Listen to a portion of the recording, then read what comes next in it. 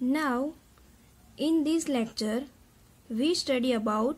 basic flowchart of data structure. Mainly data structure has two parts. First of all, built-in data structure and it is also known as a primitive data structure. And second part is a user-defined data structure and it is also known as a complex as well as abstract data structure. So primitive data structure and complex data structure we already studied it into previous video. So here integer, float, double, character and string. These all types of data type included into primitive data structure and array, list and file these all included into complex as well as abstract data structure. Here list have two parts. Once again list have two parts. One linear list and second non-linear list. Into linear list stack and queue allow but into non-linear list only tree and graph allow. Not stack and queue are included into non-linear because into stack and queue data are stored linearly. It means that sequentially, step by step. Stack અને ક્યુની અંદર data કેવી રીતે store થાય છે linearly means સિક્વન્સમાં data store થાય છે રેન્ડમલી સ્ટોર થઈ શકતા નથી જ્યારે ટ્રી એન્ડ ગ્રાફની અંદર data are store non linearly means સિક્વન્સમાં એ ડેટા સ્ટોર થઈ શકશે નહીં એની અંદર ડેટા કેવી રીતે સ્ટોર થાય છે randomly so tree and graph included into non linear list and stack and queue included into linear list and these both types are divided from list here integer float double character and string these all are directly upon the machine instruction means these all are data types kona base per work kare as a machine instruction but these types are not allow machine instruction aaj chhe machine instruction mate allow nothing now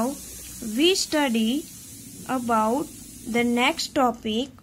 homogeneous data structure and second non-homogeneous data structure.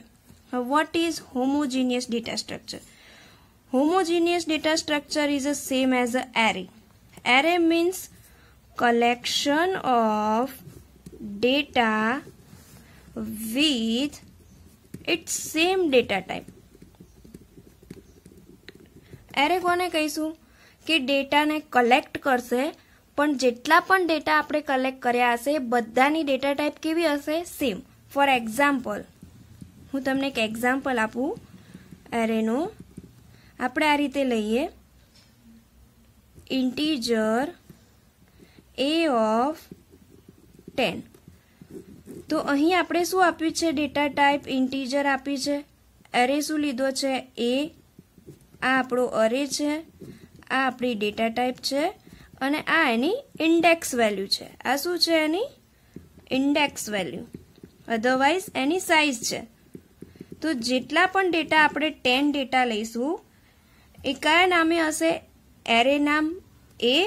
પણ ટેને ten ડેટાની data type તો શું રહેશે integer it means data type change થશે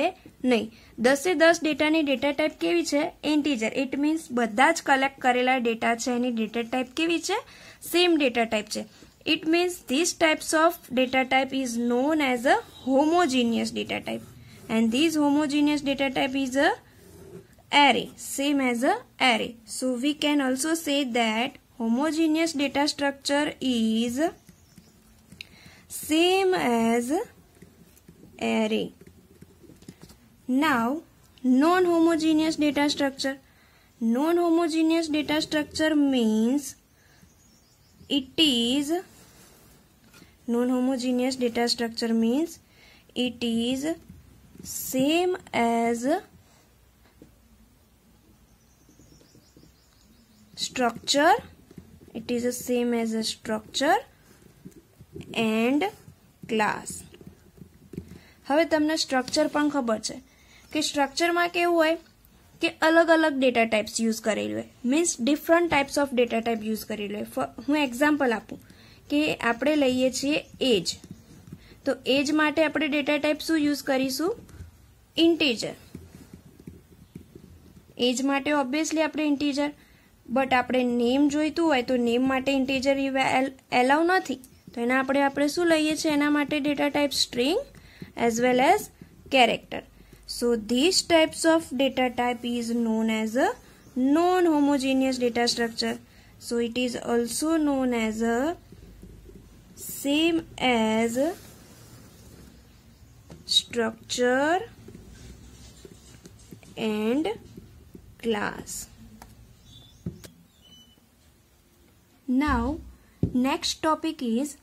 various types of operation on data structure હવે આપણે પહેલા જ લેક્ચરની અંદર ડેટા સ્ટ્રક્ચર એટલે શું એની ડેફિનેશન સ્ટડી કરેલી data structure means collection of data and organise in such a way that we can perform various types of operation on it તો એની ઉપર આપણે ઘણા બધા ઓપરેશન પરફોર્મ કરી શકીએ એને આપણે શું કહેતા હતા ડેટા સ્ટ્રક્ચર તો ઓપરેશન કયા ટાઈપના પરફોર્મ કરી શકાય એમાં ફર્સ્ટ ઓફ ઓલ પહેલું ઓપરેશન છે ટ્રાવર્સલ પહેલું ઓપરેશન છે ટ્રાવર્સલ ટ્રાવર્સલનું મિનિંગ શું થાય કે ડેટા આપણે જે કલેક્ટ કરીએ ને એ એક એક ડેટાને વિઝિટ કરવાનો એક પણ ડેટાને એમાંથી બ્લેન્ક ના થવો જોઈએ કાં તો સ્કીપ ના થવો જોઈએ એને આપણે શું કહીશું ટ્રાવર્સલ તો traversal means visit every data visit every data okay second operation લઈએ આપણે second is insertion second is a insertion insertion means કે આપણે કોઈ ડેટા કલેક્ટ કર્યો હોય એમાં કોઈ એક બીજો ડેટા એડ કરવો હોય તો એને આપણે શું કહીશું insertion means adding data third operation લઈએ હવે આપણે ડિલેશન ડિલેશન મીન્સ આપણે જે ડેટા કલેક્ટ કરીએ છીએ એમાંથી કોઈ ડેટાને રિમૂવ કરવો હોય તો એને આપણે શું કહીશું deletion deletion means remove data fourth operation લઈએ સર્ચિંગ સર્ચિંગ મીન્સ કલેક્ટ કરેલા ડેટામાંથી કોઈ એક ડેટાને પ્રોપર ફાઇન્ડ કરવો એટલે કે સર્ચ કરવું એને શું કહીશું આપણે ફાઇન્ડ ડેટા ફિફ્થ નંબરનું ઓપરેશન લઈએ શોર્ટિંગ શોર્ટિંગ મીન્સ ડેટાને અરેન્જ કરવા મીન્સ કે આપણી જોડે મોર દેન વન ડેટા છે અને આપણે અસેન્ડિંગ ઓર્ડરમાં અધરવાઇઝ ડિસેન્ડિંગ ઓર્ડરમાં આપણે શોર્ટ કરી શકીએ તમે મોબાઈલ સિસ્ટમની અંદર જોયું હશે કે તમારી જોડે બહુ બધા ડેટા કલેક્ટ થઈ ગયા હોય તો તમને બાજુમાં એક ઓપ્શન આપે છે શોર્ટ બાય કરીને તો તમે જ્યારે શોર્ટ બાય પર ક્લિક કરો છો તો તમને બતાવે છે as a name as a date એટલે કે તમારે ડેટ વાઇઝ શોર્ટ કરવા છે કે પછી નેમ વાઇઝ શોર્ટ કરવા છે એટલે કે જો તમારે નેમ વાઇઝ સોર્ટ કરવા હશે તો આલ્ફાબેટ પ્રમાણે તમારા ડેટા સેટ થઈને અરેન્જ થઈ જશે જો ડેટ વાઇઝ સોર્ટ કરેલા હશે તો પછી ડેટ વાઇઝ તમારામાં ડેટા સોર્ટ થઈને અરેન્જ થઈ જશે so sorting means arrange data into ascending otherwise descending and last one is merge merge means તમારી જોડે કલેક્ટ કરેલો ડેટા અલગ અલગ હોય માની લો કે મારી જોડે પહેલાં દસ ડેટા છે અને સેકન્ડ પાર્ટમાં દસ ડેટા છે હવે બંનેને મારે કમ્બાઈન કરવા છે તો કમ્બાઈન કરવા માટે આપણે શું ઓપરેશન પરફોર્મ કરવું પડશે merge So merge means what? Collection of combining collection of combining data. So first traversal means visit every data. Second insertion means adding data. Third deletion means remove data, searching means find data, sorting means arrange data into ascending otherwise descending order and last merge means combining data.